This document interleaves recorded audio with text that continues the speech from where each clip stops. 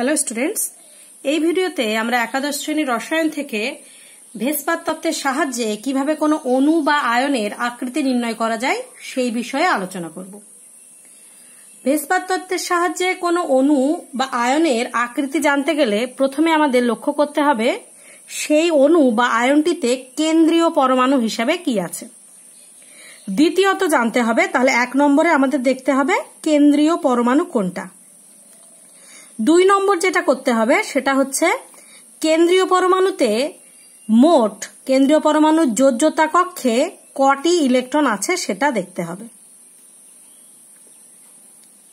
তিন নম্বর যেটা করতে হবে, সেটা হচ্ছে ওই যে ইলেকট্রন, কটি ইলেকট্রন মানে ক জোড়া ইলেকট্রন, জোড়াই বের করে নিতে হবে, এটা কত জোড়া? কারণ একটা বন্ধন করতে এক জোড়া ইলেকট্রন লাগে।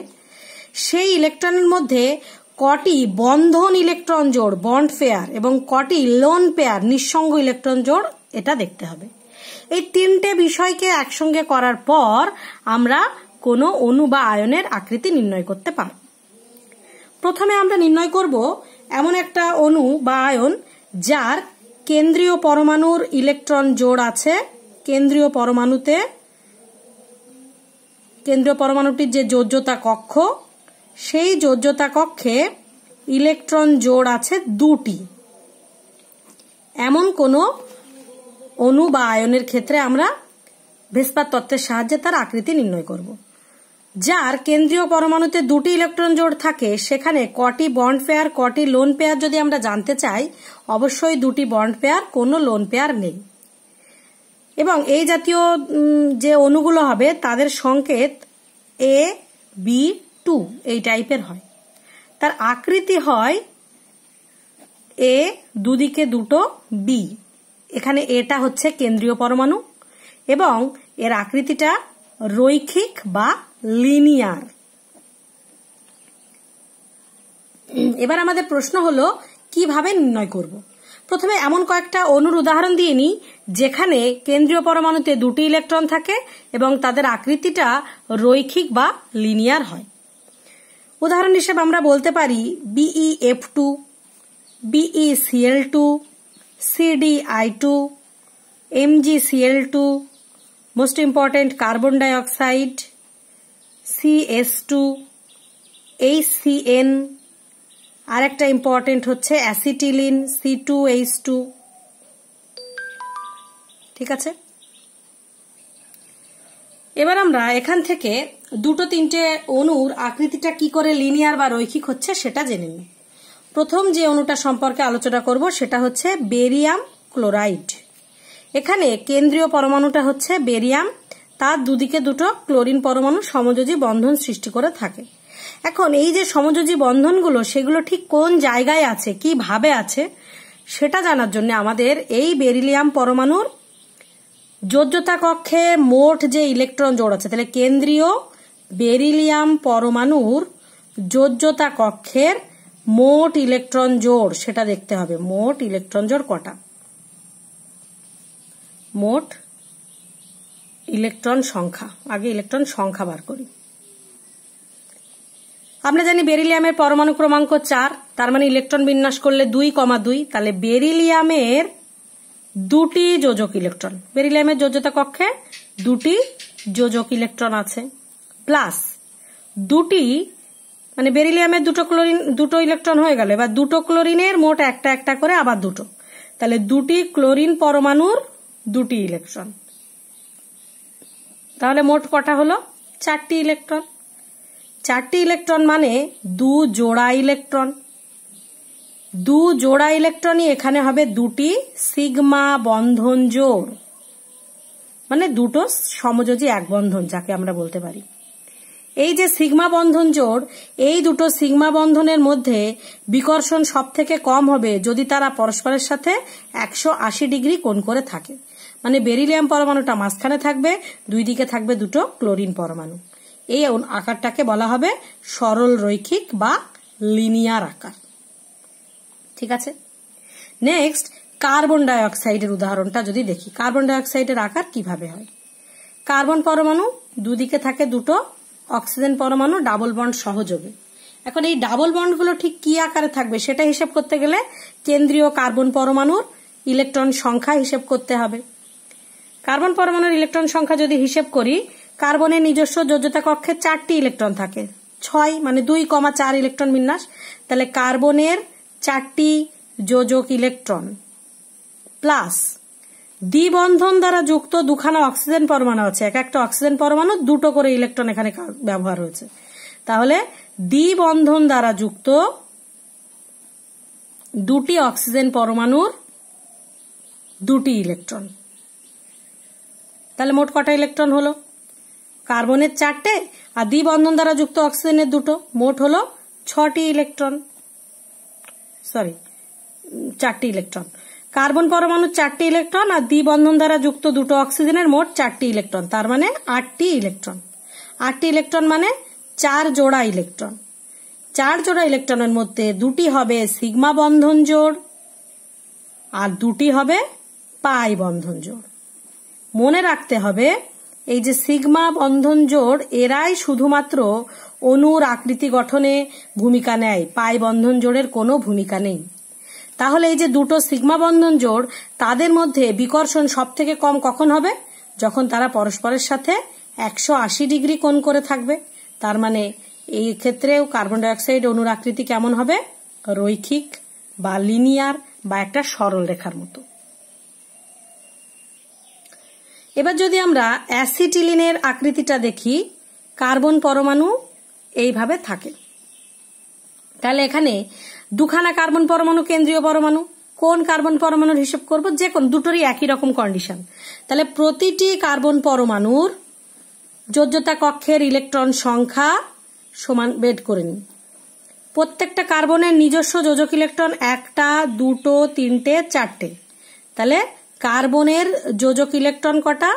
চারটি প্লাস মনে করি এই কার্বনের হিসেব করছি। নিজস্ব চারটি ইলেকট্রন হলো প্লাস ত্রিবন্ধন দ্বারা যুক্ত অপর কার্বনের তিনটি ইলেকট্রন, তাই তো? ত্রিবন্ধন দ্বারা যুক্ত অপর কার্বনের তিনটি ইলেকট্রন।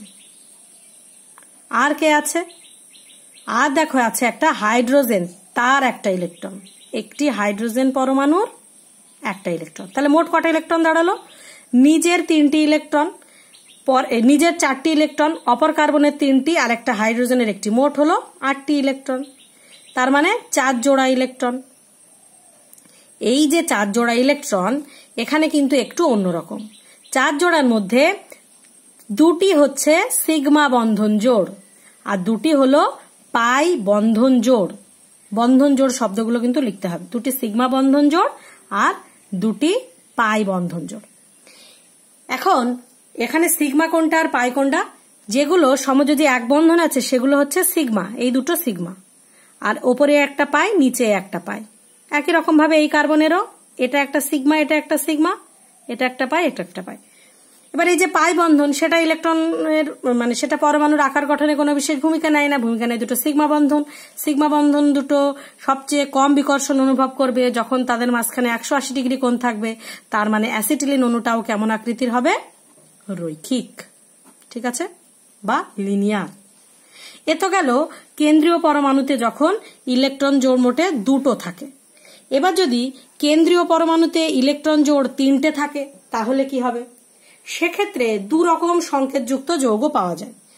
একরকম সংকেতে তিনটেই বন্ড পেয়ার, কোনো লোন পেয়ার নেই। আর এক রকম ভাবে পাওয়া যায় দুটো বন্ড পেয়ার, একটা লোন পেয়ার। তাহলে কি হবে? যখন তিনটেই বন্ড পেয়ার, তাদের সংকেতটা হয় এ বি থ্রি এই টাইপের। যখন দুটো bond pair A B two আর একটা লোন পেয়ার বলে এল দিলাম। আকৃতিটা কীরকম হবে? যখন এ বি থ্রি থাকবে, তখন একটা এ ওপরে একটা বি এখানে একটা বি একটা ত্রিভুজের তিনটে কোনায় যেন তিনটে বি আছে। তার নাম হবে ত্রিকোণীয় সমতলীয়।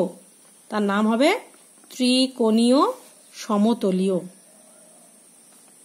কিন্তু এই, যদি একটা নিঃসঙ্গ ইলেকট্রন জোড় ঢুকে যায়, তখন গঠনটা কেমন হবে? একদিকে এক জোড়া নিঃসঙ্গ ইলেকট্রন থাকবে আর দুদিকে দুটো বি থাকবে। এই নিঃসঙ্গ ইলেকট্রন জোড়টাকে যদি বাদ দিই, এটাকে বাদ দিয়ে বাকি যে গঠনটা দেখছি, সেটা একটা উল্টনো ভির মতো। তা আমরা এটাকে বলব ভি আকৃতির বা কৌণিক আকৃতি। ঠিক আছে? তাহলে কেন্দ্রীয় পরমাণুতে যদি তিন জোড়া ইলেকট্রন থাকে, সেক্ষেত্রে দু রকম আকৃতির যৌগ পাওয়া যায়। একরকম হচ্ছে ত্রিকোণীয় সমতলীয় আর একটা হচ্ছে ভি আকৃতির বা কৌণিক আকৃতির। এই যে বিএফ থ্রি বা এএল সিএল থ্রি বা বিসিএল থ্রি এই যৌগগুলো হয় ত্রিকোণীয় সমতলীয়। আর SNCL two PBCL two sulphur dioxide, এইগুলো হয় ভি আকৃতির বা কৌণিক আকৃতির। তাহলে আমরা এবার দেখে নিই একটা দুটো অণুর গঠন। প্রথমে বলি বিসিএল থ্রি অণুটার কথা। এখানে কেন্দ্রীয় পরমাণুকে বোরন, তার সঙ্গে তিনটে ক্লোরিন আছে। আমরা জানি না সেই ক্লোরিন তিনটা ঠিক কি গঠনে আছে।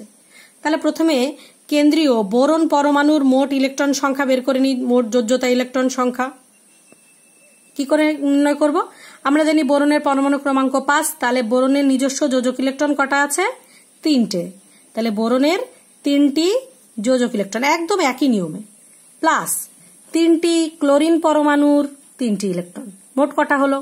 ছটা ইলেকট্রন। ছটা ইলেকট্রন মানে তিন জোড়া ইলেকট্রন। এই যে তিন জোড়া ইলেকট্রন, তিনটেই হবে সিগমা বন্ধন জোড়। তা এই তিনটে সিগমা বন্ধন জোড় তাদের মধ্যে সবচেয়ে কম বিকর্ষণ অনুভব করবে যখন তারা কেন্দ্রীয় পরমাণুকে মাঝখানে রেখে প্রান্তীয় পরমাণুগুলি একটা ত্রিভুজের তিনটে শীর্ষবিন্দুতে অবস্থান করবে। তাহলে তাদের মধ্যে কোণ কিন্তু প্রত্যেকটা কোণ হবে একশো কুড়ি ডিগ্রি করে। এই যে অবস্থাটা, একশো কুড়ি ডিগ্রি করে এই কন্ডিশনটাকে বলা হচ্ছে ত্রিকোণীয় সমতলীয়। তাহলে যখন তিনটেই বন্ধন জোড় থাকে, কোনো লোন পেয়ার থাকে না, তখনকার আকৃতি হলো ত্রিকোণীয় সমতলীয়।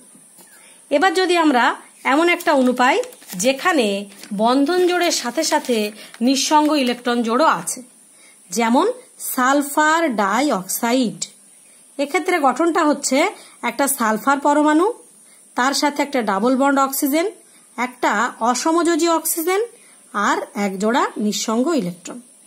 এক্ষেত্রে আমরা যদি সালফারের মোট যোজ্যতা কক্ষের ইলেকট্রন হিসেব করি, তাহলে কেন্দ্রীয় সালফার পরমাণুর যোজক ইলেকট্রন কটা? সালফারের পরমাণু ক্রমাঙ্ক ষোলো, দুই কমা আট কমা ছয়, তাহলে ছটি যোজক ইলেকট্রন সালফারের, প্লাস দ্বিবন্ধন দ্বারা যুক্ত একটা অক্সিজেনের দুটি ইলেকট্রন। দ্বিবন্ধন দ্বারা যুক্ত অক্সিজেন পরমাণুর দুটি ইলেকট্রন। প্লাস আর একটা দেখো, অসমযোজী বন্ধন দ্বারা যুক্ত অক্সিজেন পরমাণু আছে। এই যে বন্ধনটা, এখানে কি অক্সিজেন পরমাণুর কোনো ইলেকট্রন বন্ধন গঠনে অংশগ্রহণ করেছে? করেনি তো। এখানে সালফার পরমাণু তার নিজেরই দুটো ইলেকট্রন অক্সিজেন পরমাণুকে ব্যবহার করার সুযোগ দিয়েছে। মানে এইখানে এক অসমযোজী বন্ধন দ্বারা যুক্ত যে অক্সিজেন পরমাণু, তার কিন্তু ইলেকট্রন জিরোটি তাহলে মোট ইলেকট্রন, নিজস্ব ছটা ইলেকট্রন, দ্বিবন্ধন দ্বারা যুক্ত অক্সিজেনের দুটো ইলেকট্রন, অসমযোজী পরমাণু অসমযোজী যে অক্সিজেন পরমাণু, তার জিরো ইলেকট্রন। তাহলে মোট দাঁড়াচ্ছে কটা? সেই আটটি ইলেকট্রন। আটটি ইলেকট্রন মানে চার জোড়া ইলেকট্রন। এবার এই চার জোড়া ইলেকট্রনের মধ্যে ব্যাপারটা হবে দুটি হবে সিগমা বন্ধন, একটি হবে পাই বন্ধন, আর একটি হবে লোন পেয়ার নিঃসঙ্গ ইলেকট্রন জোর এই যে দুটো সিগমা বন্ধন, এটাকে আর এটাকে সিগমা বন্ধন ভাবছি, সেকেন্ড যেটা হবে সেটাকে পাই ভাবছি, আর একটা ভাবছি লোন পেয়ার। এখন এই পাই বন্ধনটার পরমাণুর আকার গঠনে কোনো ভূমিকা নেই, রইল পড়ে দুটো সিগমা বন্ধন। দুটো সিগমা বন্ধনের মধ্যে সব থেকে কম বিকর্ষণ হতো যদি তারা একশো আশি ডিগ্রি কোণে থাকতো। কিন্তু মাঝখানে এসে হাজির হয়েছে একটা নিঃসঙ্গ ইলেকট্রন জোড়। এই নিঃসঙ্গ ইলেকট্রন জোড়ের সাথে বন্ধন জোড়ের বিকর্ষণ হবে। আর সেই বিকর্ষণের দরুন বন্ধন জোড়টা একটুখানি বেঁকে যাবে। এটা এদিকে আর এদিকে চেপে আসবে। তার মানে গঠনটা দাঁড়াবে এই রকম। এক্ষেত্রে বন্ধন কোণের মান কিন্তু আর একশো কুড়ি ডিগ্রি থাকবে না। একশো কুড়ি ডিগ্রি থেকে বন্ধন কোণের মান কমে হবে একশো উনিশ দশমিক পাঁচ ডিগ্রি। মানে আগে যদি ত্রিকোণীয় সমতলীয় হতো, সেক্ষেত্রে বন্ধন কোণের মান ছিল একশো কুড়ি ডিগ্রি, কিন্তু এক্ষেত্রে মানটা কমে যাবে একশো উনিশ দশমিক পাঁচ ডিগ্রি। এবং অণুটার আকৃতি হবে অবশ্যই কৌণিক। এবার দেখে নিই, কেন্দ্রীয় পরমাণুতে যদি চার জোড়া ইলেকট্রন থাকে, সেক্ষেত্রে তিন রকম গঠন আকৃতি হতে পারে। বন্ড পেয়ার চারটে, লোন পেয়ার নেই। বন্ড পেয়ার তিনটে, লোন পেয়ার একটা, বন্ড পেয়ার দুটো, লোন পেয়ার দুটো। এরকম তিনটে কন্ডিশন হতে পারে। তো প্রথম যে কন্ডিশনের কথা বলছি, বন্ড পেয়ার চারটে, সেক্ষেত্রে সংকেতটা কেমন হবে? এ বি ফোর পরেরটা হবে এ বি থ্রি এল একটা করে লোন পেয়ার। এখানে এ বি টু আর দুটো লোন পেয়ার। যখন এ বি ফোর টাইপের হবে, তখন গঠনটা হবে কেন্দ্রীয় পরমাণু রইল এ চার দিকে চারটে হবে বি এই যে গঠনটা, সেটাকে যদি আমরা ত্রিমাত্রিক ভাবে দেখি, এইভাবে এইভাবে যোগ করে দিই, নিচের ওইদিকে ওটা যোগ আছে, এই গঠনটাকে বলা হয় চতুস্তলক বা টেট্রাহেড্রাল। এরকম কয়েকটি অনুর উদাহরণ হচ্ছে মিথেন, খুব important carbon tetrachloride, ammonium BF four minus SO four two minus SN CL two এবার যদি গঠনটা সেকেন্ড টাইপের হয় মানে একটা লোন পেয়ার থাকে, সেক্ষেত্রে গঠনটা হবে একটা এ কেন্দ্রীয় পরমাণু রইল। তার তিন দিকে তিনটে বি যেমন ভাবে আছে আছে, একটা রয়ে গেল লোন পেয়ার এক্ষেত্রে এই লোন পেয়ারটা থাকার জন্য এটা একটা তিন কোণাযুক্ত পিরামিডের মতো গঠন আকৃতি পাবে, যেটাকে আমরা বলব ত্রিকোণীয় পিরামিডীয় এই যে ত্রিকোণীয় পিরামিডীয় এমন আকৃতি বিশিষ্ট কয়েকটি যৌগ হল অ্যামোনিয়া, খুব important NCL three PH three PCL three এগুলো। আর লাস্ট যেটা, সেটা হচ্ছে A B two L two মানে যেখানে দুটো নিঃসঙ্গ ইলেকট্রন জোড়, একটা এ থাকবে, দুদিকে দুটো বি রইল, আর থাকবে দুটো নিঃসঙ্গ ইলেকট্রন জোড়। এক্ষেত্রে ইলেকট্রন জোড় বাদ দিলে অনুর যে গঠনটা পড়ে থাকে, সেটা হচ্ছে ভি আকৃতির বা কৌণিক। এরকম ভি আকৃতি বা কৌণিক গঠনযুক্ত দুটি উদাহরণ হচ্ছে, কয়েকটি উদাহরণ বলে দিই। এইচ টু ও খুব ইম্পর্টেন্ট এইচ টু এস সেটাও important F two O S CL two ইত্যাদি। এবার আমরা এর মধ্যে কতগুলো অণুর আকৃতিটা কেমন হবে সেটা একটুখানি দেখে নিই। প্রথমে যদি আমরা মিথেন অণুটা নিয়ে বলি সি এইচ ফোর মিথেন মিথেনের আকৃতিতে কেমন হবে? কার্বন পরমাণু থাকবে, তার চারদিকে চারটে থাকবে, হাইড্রোজেন পরমাণু। এক্ষেত্রে যদি হিসেব করি, কার্বন পরমাণুর চারদিকে মোট ইলেকট্রনটা যদি হিসেব করি, কেন্দ্রীয় পরমাণু কার্বন, তার মোট ইলেকট্রনটা যদি হিসেব করি, কার্বনের নিজস্ব চারটি যোজক ইলেকট্রন, প্লাস চারটি হাইড্রোজেন পরমাণুর জন্য চারটি ইলেকট্রন, সব কিন্তু ভাষায় লিখে লিখে বলতে হবে। তাহলে মোট হবে আটটি ইলেকট্রন। চারটি যোজক ইলেকট্রন, চারটি হাইড্রোজেনের চারটি, মোট আটটি ইলেকট্রন, তার মানে চার জোড়া ইলেকট্রন। এখানে চার জোড়া ইলেকট্রন মানে চারটি হবে সিগমা বন্ধন। সেই চারটি সিগমা বন্ধন পরস্পরের সঙ্গে সবচেয়ে কম বিকর্ষণ অনুভব করবে যখন তারা এরকম চতুস্তলকের আকৃতিতে থাকবে। এক্ষেত্রে প্রত্যেকটা বন্ধন কোণের মান হবে একশো নয় ডিগ্রি আঠাশ মিনিট। ঠিক আছে? সেকেন্ড যে উদাহরণটা দেখব, সেটা হচ্ছে জল। জলের উদাহরণটা দেখেন জলের ক্ষেত্রে কি হবে? কেন্দ্রীয় থাকবে অক্সিজেন পরমাণু, দুদিকে থাকবে দুটো হাইড্রোজেন পরমাণু আর দুটো নিঃসঙ্গ ইলেকট্রন জোড় তাহলে এখানে কেন্দ্রীয় অক্সিজেন পরমাণুর মোট ইলেকট্রন যদি হিসেব করি, কীরকম বের করব? অক্সিজেনের নিজস্ব যোজক ইলেকট্রন কটা? অক্সিজেন পরমাণুর দুটো আর ছটা ইলেকট্রন বিন্যাস, তাহলে অক্সিজেনের যোজক ইলেকট্রন ছটি প্লাস দুটো হাইড্রোজেন পরমাণুর দুটি। মোট হচ্ছে আটটি ইলেকট্রন। তার মানে সেই চার জোড়া ইলেকট্রন। এবার এই যে চার জোড়া ইলেকট্রন, তার মধ্যে দুটি থাকবে সিগমা বন্ড আর দুটি থাকবে নিঃসঙ্গ ইলেকট্রন জোড়। ছবিতেই দেখতে পাচ্ছ। এখন প্রশ্ন হলো, যদি নিঃসঙ্গ ইলেকট্রন জোড় না থাকতো, দুটো সিগমা বন্ধন সবচেয়ে বেশি বিকর্ষণ অনুভব করত সরি, সবচেয়ে কম বিকর্ষণ অনুভব করত যদি তাদের মধ্যে একশো আশি ডিগ্রি কোণ থাকতো। এখন সেই একশো আশি ডিগ্রি কোণের মধ্যে দুটি নিঃসঙ্গ ইলেকট্রন জোড় এসে গেছে। আমরা জানি নিঃসঙ্গ ইলেকট্রন জোড়ের সাথে বন্ধন জোড়ের একটা বিকর্ষণ হয়। তার মানে বন্ধনটাকে একটু বাকিয়ে দেবে, আকৃতিটা হয়ে যাবে ভি আকৃতি বা কৌণিক। এক্ষেত্রে বন্ধন কোণের মান একশো নয় ডিগ্রি আঠাশ মিনিট থেকে তো কমবেই, কমে হবে একশো চার দশমিক পাঁচ ডিগ্রি। তাহলে এইচ টু ওর বন্ধন কোণের মান একশো চার দশমিক পাঁচ ডিগ্রি। এত কমে গেল। কেন কমে গেল? এই নিঃসঙ্গ ইলেকট্রন জোড়ের উপস্থিতির জন্য।